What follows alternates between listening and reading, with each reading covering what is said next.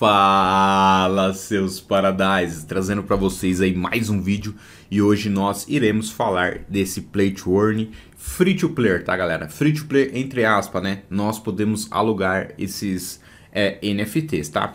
Vamos falar hoje de Star Sharks, tá? Um play to earn aí muito interessante que eu fiz um vídeo rapidinho sobre ele e eu achei bastante interessante para trazer uma análise aqui no canal, tá? Antes de mais nada, se você já curte esse assunto de play to earn, jogue para ganhar peça, vocês que não forem inscritos, por favor se inscreva e aquele gesto nobre da sua parte, onde ajuda demais aqui o vídeo a alcançar outras pessoas que queiram entrar nesse mundo da blockchain. Deixa aquele famoso like, tá galera? Então vamos lá fazer análise desse play to. Pelo que eu andei pesquisando aqui, temos algumas estratégias aqui que as pessoas estão utilizando. Eu fiz o vídeo aqui bem rapidinho sobre esse play to né? E algumas pessoas me falaram é, como estão conseguindo ganhar dinheiro desse Play to. Então vamos falar aqui, ó, Star Shark, tá? Então aqui temos algumas informações, tá? Aqui temos volumes de negociação, ah, aparentemente não apareceu aqui, vamos dar um F5, mas aqui temos é, volumes de negociação entre outras coisas, tá? Então aqui, ó, temos volume de negociação, temos volume é, das compras que teve, né, é, das boxes e tudo mais. Aqui temos o sistema de pool de recompensa e stake, tá? Outras coisas aqui bastante interessantes também, ó. Informações da recompensas de PVP, tá? Bastante interessante, quase, acredito que é o primeiro play to earn que eu vejo que tem essas informações aqui no site, tá? Vamos continuar aqui. Aqui eles falam bem o seguinte, tá, galera? A questão do metaverso aí, ó.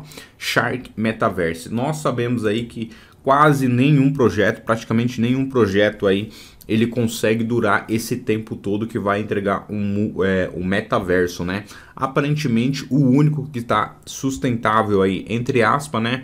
Está pagando ali em torno de 100 a 200 dólares, ainda é o Axe aí. E o Axe está no mercado aí pelo menos 3 anos e ainda não entregou esse metaverso, né? Então aqui eles falam que ó, o ecossistema de Game DeFi, né? Baseado na rede da BSC, né? Cadeia BNB e entre outras coisas aqui que simplesmente nós temos que, temos que aguardar. Então vamos continuar. Aqui, galera, é um jogo que você vai ter que fazer o download, ó. Se você clica aqui, já aparece o download aqui. Vamos cancelar esse download, tá? Então é um jogo para você fazer o download e instalar no computador, tá? Aqui tem dois jogos que eles estão é, querendo implementar futuramente, tá? Aquele sistema é um joguinho de running é muito famoso, tá? Para celular, aquele sisteminha onde o personagem fica correndo, você só tem que desviar de algumas coisas e coletar moedas aqui, tá? E o metaverso, que nem eu falei para vocês, né? É, nenhum jogo ainda conseguiu entregar de fato esse metaverso, tá? Então, é, futuramente teremos dois novos jogos aí para esse Play to Earn, tá? Vamos continuar aqui.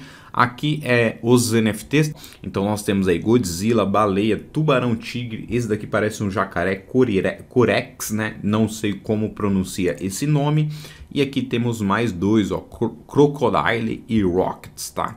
Então nós temos aqui algumas coisas interessantes. Aqui, galera, eles falam sobre é, o investimento que a Binance fez, tá? Se vocês clicarem aqui, vai diretamente para o site da Binance, onde fala tudo sobre o investimento que a Binance fez com esse projeto. Eu acredito que por isso que esse projeto ele está muito caro, né? Se você for entrar aí é, no mercado que nós daqui a pouco nós iremos ver, tá?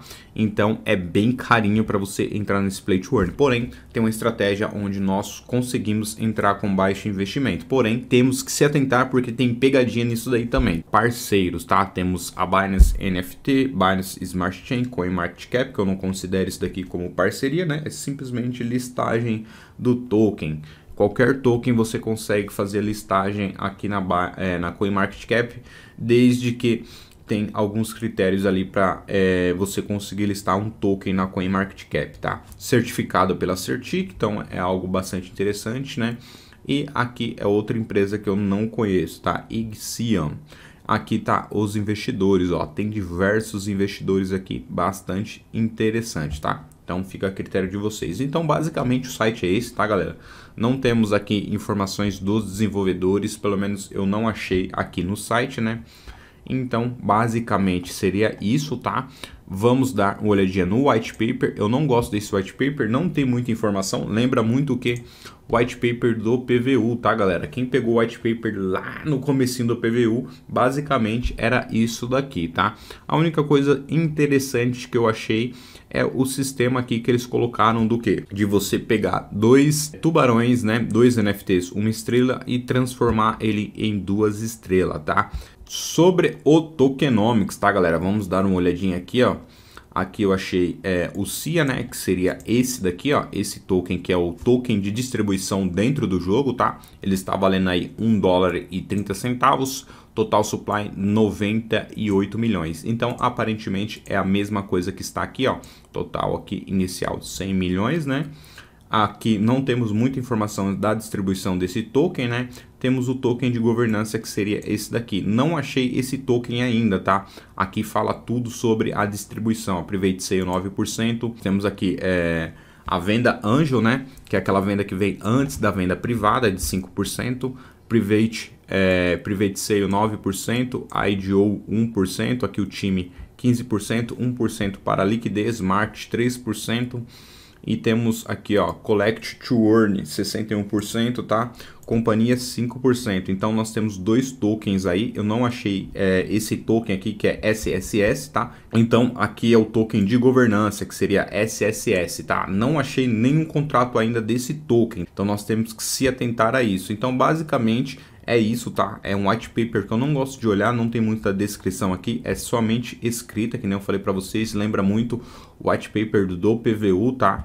Então nós temos dois tokens, tá? O SSS, que é, eu ainda não achei esse token, e temos o token CIA, tá? O token CIA, que nem eu falei para vocês, está valendo praticamente aí 1 dólar e 40 centavos, tá? Então, antes de ir lá no mercado, vamos dar uma olhadinha aqui no Twitter. O Twitter tem 110 mil pessoas, tá?